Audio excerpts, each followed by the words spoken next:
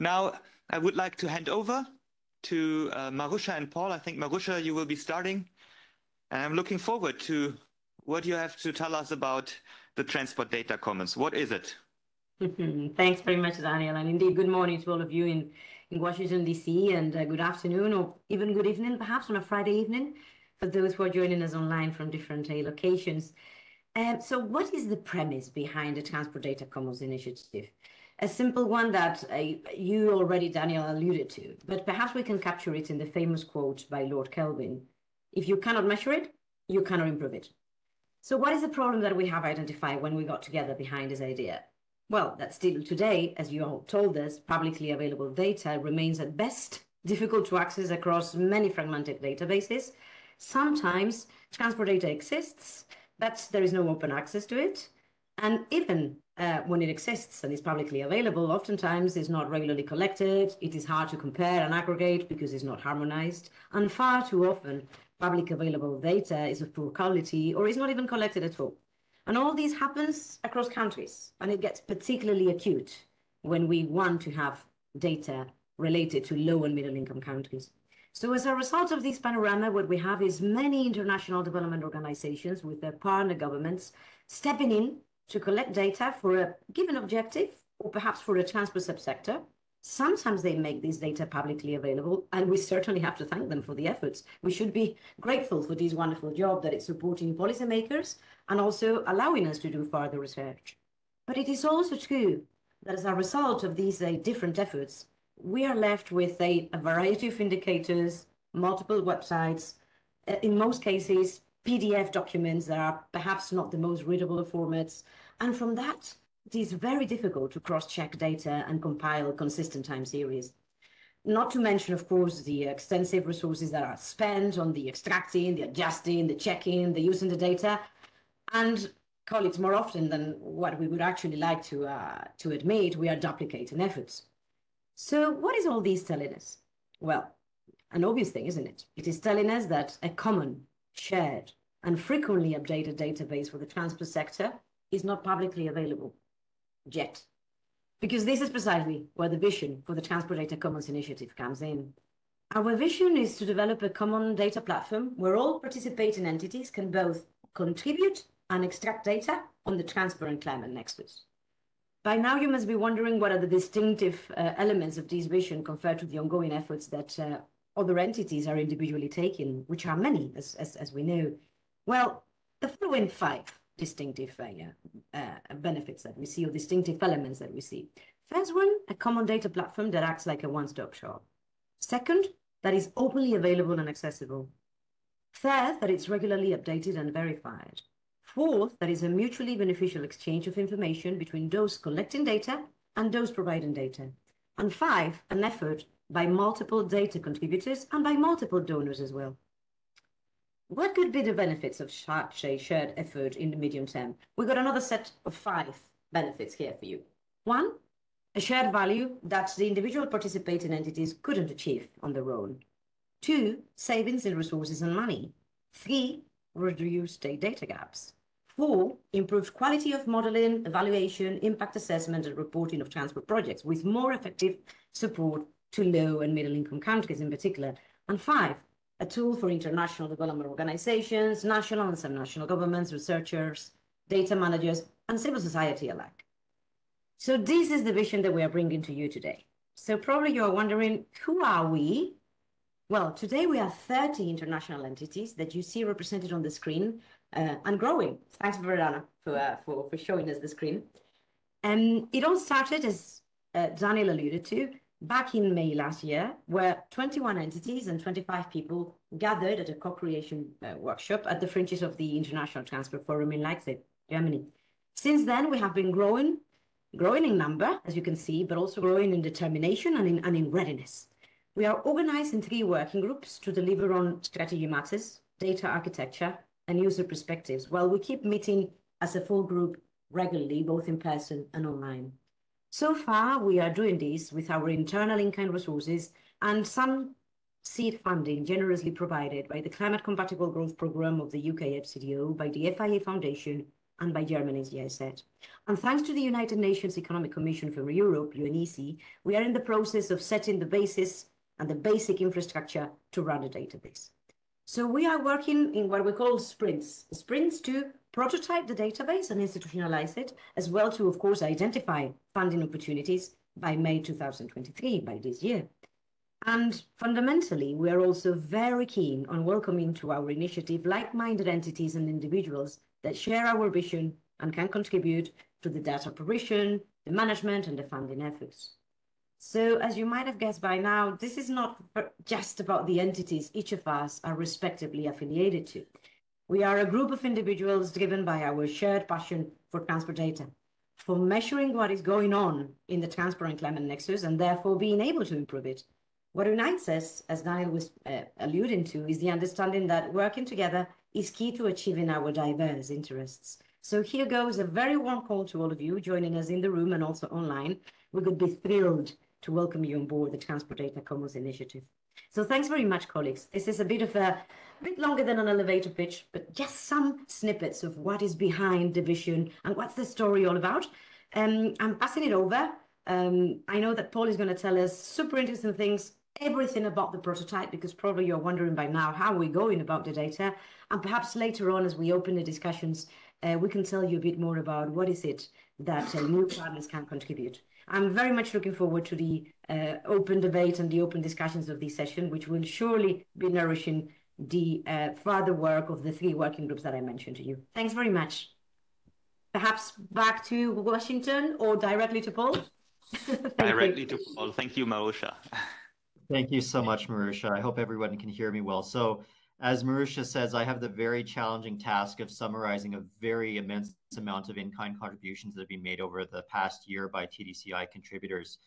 Um, so I am not going to manage to be as succinct. This is also necessarily going to be quite high level. I don't want to get lost in the weeds of particular data.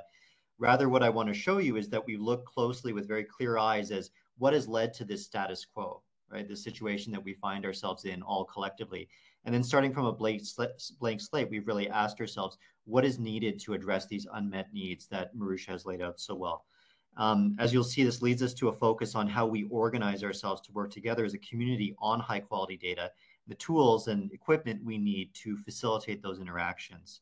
Um, and so we'll see that those bits of infrastructure and community processes, so to speak, are what have been missing.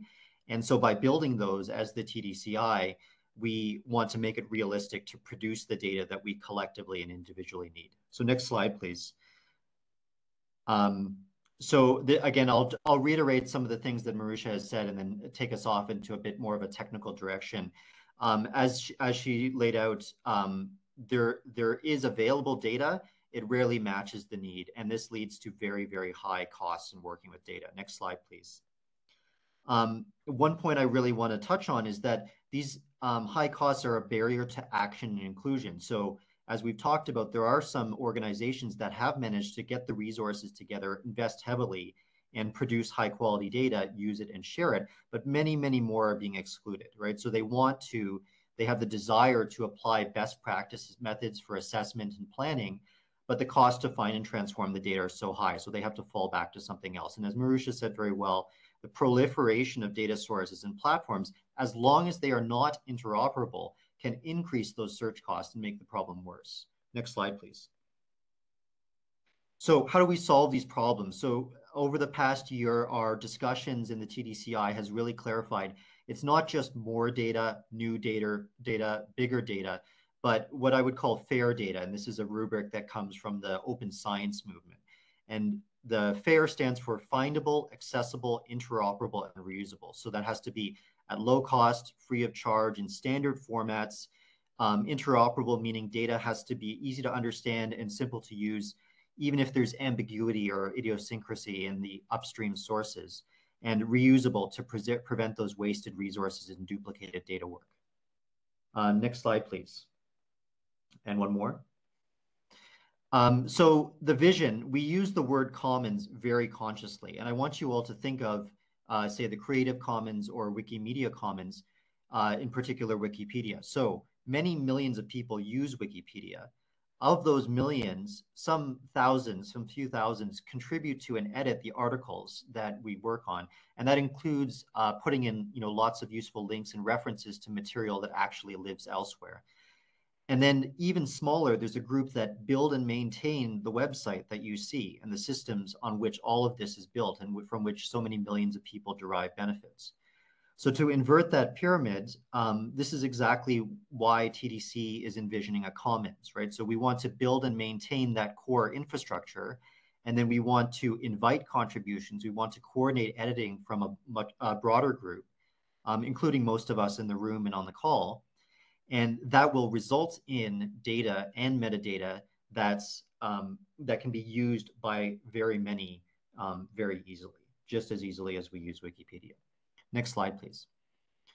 Um, so from a technical point of view, the pieces that we have in mind for a fully built TDC, uh, first a repository, a place for storing diverse transport data and metadata. Um, the second is pipelines for uh, automated data cleaning and harmonization. Um, most importantly, and where a lot of people are going to first see the TDC is going to be a web user interface that lets people explore, visualize, and submit uh, that metadata. And we will build this on shared standards. We will build the tools that we need to do this. And um, we want to make it fair using uh, uh, community processes that will curate some of the priority data that um, we recognize that there's a shared need for. So next slide, please. Don't be intimidated by this. I'm going to walk you through it, but I just, again, want to give you the sense that we um, have uh, designed uh, a system that would allow us to meet these needs and to do these things that would produce the data that we need. So next slide, please. So as mentioned, the first piece in the blue box is a metadata repository. Metadata, just for those who are not familiar with the term, is information about data, where it comes from, where it actually lives, uh, its structure, who produces it, things of that nature. And then data is the actual observations, the numerical values, and their labels in original formats or some standardized formats. And we intend to set up a repository. This is what some people would call the database, but of course it's uh, a collection of many different data sets um, using existing open source tools and by applying the uh, SDMX um, ISO standards that have been built by um, national banks and international statistical organizations.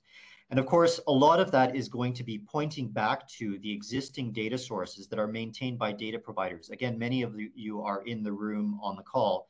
And these, for very legitimate reasons, are varied in their formats, their APIs, scope, update frequency. Some of those are small collections, some are very large, some have explicit and complete metadata, some don't, right? And we recognize that data does and will continue to live in a variety of different places, but we need to have a catalog that allows us to point to all those, those locations and make them um, uh, commonly uh, comprehensible. And of course, in purple, um, for those who don't have their own data repositories, we do want to guide people and allow them to submit their own data or metadata directly into the TDC. Uh, next slide, please. Um, so then built on that data that we then have, would have uh, connected to or directly in that repository, we would want community pipelines um, or TDC operated pipelines. And a pipeline is just a word for a technical term for a series of data cleaning steps, one or many. Usually or often those are done manually. And this is part of that repeated and duplicated work that we want to um, automate um, in order to make them repeatable reusable at low cost, and very transparent in terms of what's going on. And for those pipelines, the input data and metadata is going to be drawn from the repository, and the outputs will be sent back to the repository in common and very well-defined formats. And again, we intend to build this piece of the infrastructure on existing tools and make it available for use by uh, different community groups. We can come back to that. Next slide, please. And again, as mentioned in, uh, in the bright purple box, transportdata.org is going to be where most users, especially data consuming users, are going to have their first encounter with the TDC. So they're going to come to a landing page and according to their needs, um, according to their skill level, and a variety of different user stories that we've developed through talking to potential users, they're going to find their way to different uh, options and features of that uh, user interface. And that can include downloading data in various forms through the browser, through an application programming interface.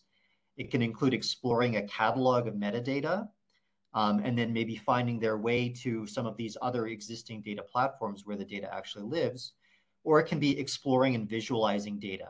And by you know repeating these colors of uh, blue, orange, and green, what I'm suggesting is that in these catalog and exploring views, we are uniting together and presenting in a single one-stop um, data from these many different sources, right? And through doing these things, we're hoping to really address those uh, findable, accessible, interoperable, and reusable goals, right? And again, we recognize there are a lot of data platforms that offer great um, um, uh, visualization and exploration features.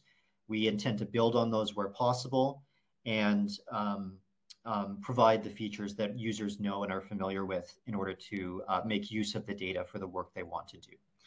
Uh, next slide, please. Um, so that's the full picture. And again, one more. So once we have this infrastructure in place, what do we want to do with it, right? So how do we actually get out of this the high quality, reliable data that uh, many of the TDCI partners and contributors thus far, and many of you uh, really want and need? Um, what we would do is we would uh, continually run this community processes working on priority data. So obviously we can't put the same amount of intention, uh, attention into all possible data, but through discussions with the community, we can identify data for which there is a shared need. And uh, some initial examples might be activity data, passenger and freight activity data, vehicle stops, things of that nature. And then for each of those quantities, we can set a common and target structure for the desired data flow. So that includes identifying the dimensions, uh, mode, technology, gender, things of this nature, right? And then for each of those dimensions, the labels, resolution, coverage, and scope that we want the target data to have, the units of measurement, other attributes, and other metadata. So with, with that goal or target, the outline in mind, we can then start looking at the many sources and providers who will be connected to the TDC and say which of these are offering some or all of this data. Next slide, please. Um, with those sources, um, we can make sure that they're connected to the mess, uh, to the the TDC, and that gives us a sort of messy pile. We've swept together some things that might be relevant to produce this priority data flow. Um, with through inspecting those data as they exist, that will help us identify uh, as a as a group. Um, what are what are the necessary steps to clean, relabel, merge, correct, infill, etc. Uh, those data into uh, produce the high quality data set that we need. And so once we've identified those steps and prototyped them, then we can um, put those together as a robust, repeatable pipeline that we can then run on those defined sources and produce a data flow or a sequence of data sets as they are updated um, with that data that we need. And the result of this is going to be that the raw source data, the cleaning process, and the produced data are all going to be visible on the uh, via the TDC web UI and the web presence. So that's the vision. And just a couple of slides. Next slide, please. And the following. Um, so as mentioned by Maruxa, we've got it started on prototyping and building um, with the help of some consultants with the generous hosting of UNECE. Um, and that's involved doing mock-ups like this, right? So this is not an actual website. We would need the resources to build the actual website, but uh, saying what it needs to look like, what features it needs to have, and why, right? Uh, next slide, please.